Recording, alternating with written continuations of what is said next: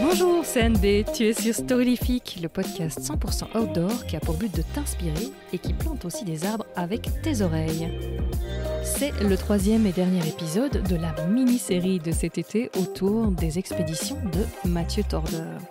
Alors j'espère que tu as ton morito en main. C'est parti pour une nouvelle aventure. Cette fois-ci, on quitte l'Asie centrale direction le Maroc et son désert pour parler du marathon des sables. Qu'est-ce que le marathon des sables Eh bien, tout a commencé en 1984 avec Patrick Bauer, français de Troyes, qui à 28 ans décide de rejoindre le Sahara afin de parcourir à pied en solitaire 350 km d'un désert inhabité où il ne rencontrera ni village, ni oasis, ni point d'eau. En tout cas, c'est en autonomie totale avec un sac à dos de 35 kg contenant eau et nourriture qu'il a pris le départ de cette traversée qui durera 12 jours. Il était loin de se douter que son challenge ferait autant rêver, mais c'est bien ce qui se passe car quand il projette son petit film au retour, le succès est immédiat.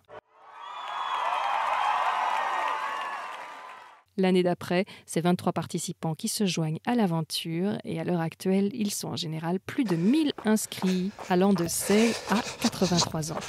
L'allure est libre et donc le marathon attire marcheurs comme coureurs. Le vrai challenge est la gestion. Les conditions sont très dures, la durée l'est aussi, les bivouacs pour se reposer sont sommaires.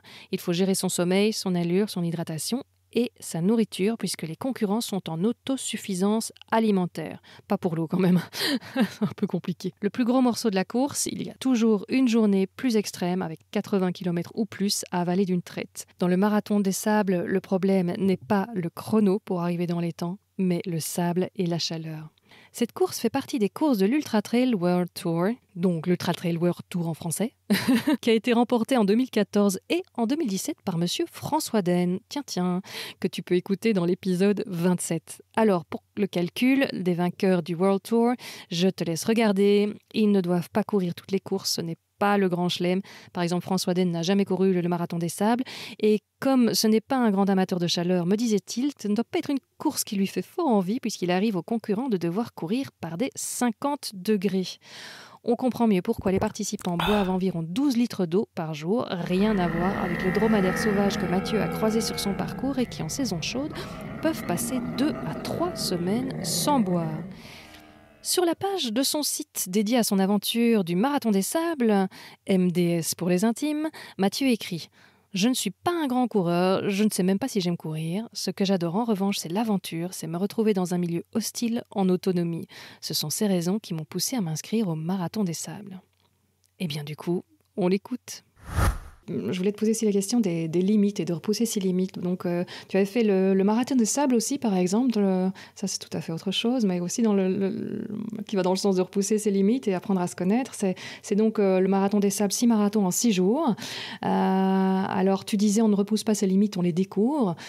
J'entends souvent, quand on, recherche ses limites, on se rend compte que l'être humain est, vraiment incroyable, que les limites sont beaucoup plus loin que ce qu'on aurait pu penser à, à l'origine. J'y pense parce que je viens d'interviewer aussi des ultra-trailers, tu sais, des gens qui font plus de 300 km. Tu dis, mais c'est rassurant de voir que eux-mêmes pensaient qu'ils allaient crever si un jour ils essayaient de faire ça.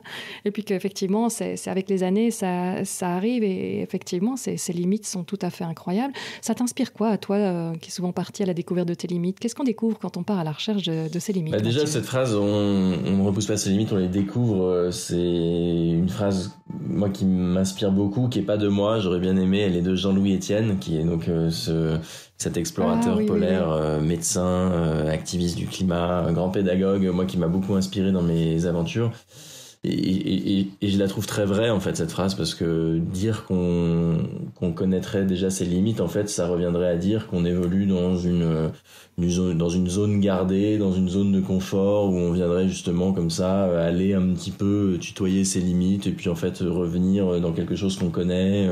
Moi, moi je pense que l'idée de, découvrir ses limites c'est intéressant. Ça veut dire qu'on se lance dans, des nouvelles, euh, dans des nouveaux projets, dans des nouvelles aventures, dans des nouvelles ambitions et, et, on découvre un peu au fur et à mesure des épreuves, des succès, des échecs, des rencontres, bah, qu'on est capable de plus ou de moins d'ailleurs que ce qu'on imaginait. Et ça permet une meilleure connaissance de soi. Quoi. Et, je trouve que c'est hyper, hyper enrichissant en fait. parce que une fois que vous, avez fait un truc que vous ne pensiez pas capable de faire, et bah ça te donne une confiance euh, immense en fait pour entreprendre de nouvelles choses, soit dans le même domaine, soit dans un autre domaine d'ailleurs. Mais euh, ce serait ce serait infiniment triste pour moi de de, de, de faire en fait ce qu'on a toujours fait toujours et et de et de pas découvrir en fait euh, son propre potentiel dans de, dans d'autres sphères de, de la vie ou d'autres ou d'autres activités. on est on est on est on est capable de bien plus en fait de ce de ce qu'on croit et souvent on a la tendance à se sous-estimer. Euh, on se dit non, je suis pas assez sportif ou, c'est pas pour moi ou ça va être trop dur.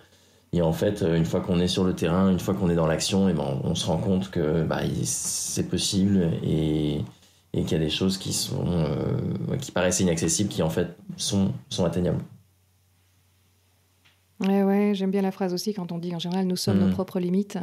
C'est parce que c'est ce qu'on a dans la tête et du coup c'est bien d'aller justement se confronter à la réalité et de voir qu'elles sont bien plus loin en fait. Elles existent bien sûr, mais, mais, mais c'est beaucoup plus magique que ce qu'on pense, je trouve.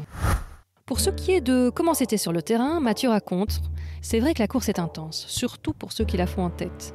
Mais la barrière horaire au checkpoint étant large, la probabilité de terminer l'épreuve est assez élevée.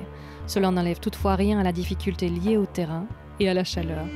Durant la course, j'ai dû faire face à des dunes, des plateaux caillouteux, des weds asséchés, des petites montagnes, le tout en 6 étapes de 30.3 à 86.2 km, parfois sous 151 degrés Celsius. Ceci est un extrait de son blog qu'il m'a gentiment autorisé à vous lire ici après un petit échange d'SMS en ce mois de juillet, pendant que Mathieu est en train de traverser les Pyrénées d'ailleurs. Chance, il avait du réseau. Il en était à 160 km de parcouru et 8000 mètres de dénivelé positif d'avalé, d'après ce que j'ai vu sur sa page Facebook qu'il alimentait aussi ce jour-là. Au total, ce sera un peu plus de 750 km et 42 000 mètres de dénivelé positif qu'il aura fait quand il aura fini de traverser ces petites Pyrénées bien sympathiques. Il y en a qui trouvent toujours des plans originaux pour les vacances. Mathieu Torder a participé donc lui à la 32e édition du Marathon des Sables en avril 2017. Il y avait environ 1200 participants, dont 20% de femmes. Yes Sa conclusion Avant de partir, je savais que ça allait être difficile. Ça l'a été Ce qui revient le plus dans les mots des participants de tout ce que j'ai pu lire sur le web, c'est formidable aventure humaine. Mathieu d'ailleurs le dit aussi, Face à cette nature hostile et confrontée à nos propres limites physiques et mentales, les liens entre chaque concurrence se resserrent naturellement. Le marathon des sables, c'est avant tout une histoire de solidarité et de partage. Cela me rappelle beaucoup ce que me disait un guide habitué à accompagner des groupes dans le désert. La magie du désert, c'est de voir que tout naturellement, les liens se resserrent entre les gens. Il n'a pas fini de nous faire rêver ce désert.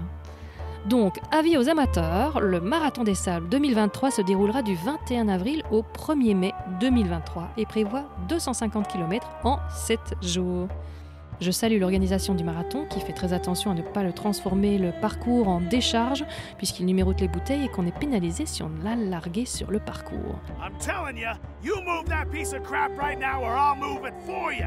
Je salue également les actions de leur association en faveur du sport pour les enfants sur place et pour l'alphabétisation des femmes. Pour un résumé au lance-bière de cet assaut, hein, pour les détails, allez voir leur site web. Sinon, pour faire bonne mesure, si tu comptes participer, je te lance le défi de t'y rendre en version aventure. Tu traverses le détroit de Gibraltar à la nage. Bonjour au passage aux nageurs en eau libre qui nous écoutent. Et puis, tu continues à pied.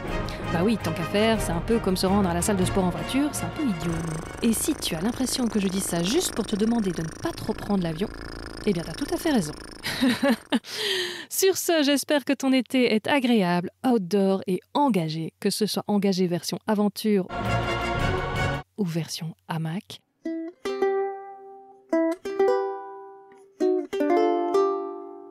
Du moment que tu kiffes, tu as ma bénédiction.